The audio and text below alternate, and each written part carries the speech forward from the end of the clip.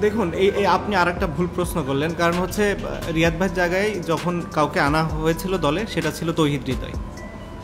দেখুন first of all হচ্ছে last তিন সিরিজে রিয়াদ ভাই ছিল না। তখন এই সব কথা আপনারা বলছেন কিনা আমি জানি না। এখন বলছেন। সো আমার কাছে মনে হয় মনে হয় প্রশ্নটা খুবই অপ্রাসঙ্গিক। না, দেখুন, কোনো সময় আমরা আসলে বড় টুর্নামেন্ট কিংবা ইভেন্টে কখনো ভালো করিনি। সো আমাদের ওই হিস্ট্রি নাই যে আমাদের খুব একটা আমার এটা মনে হয় না। এই জাস্ট হচ্ছে আপনার এরকম টুর্নামেন্টে আমাদের কখনো যেহেতু সাকসেস আসে না ওইভাবে হ্যাঁ আপনি বলতে পারেন আমরা এশিয়া কাপ দুই, তিনবার ফাইনাল খেলেছি। আমরা মেবি যদি জিততাম হয়তো আর একটু বেটার হতো।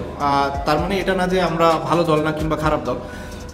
আমরা অন অ্যান্ড অফ সবসময় একটা প্রমিসিং দল এবং অন অ্যান্ড অফ আমরা ভালো করে আসছি। লাস্ট দুইটা সিরিজ আমরা হোমেও হেরে গিয়েছি।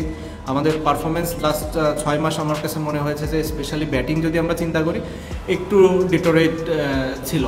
সেটা ইংল্যান্ড বলেন, এরপরে আফগানিস্তান বলেন and then this Asia Cup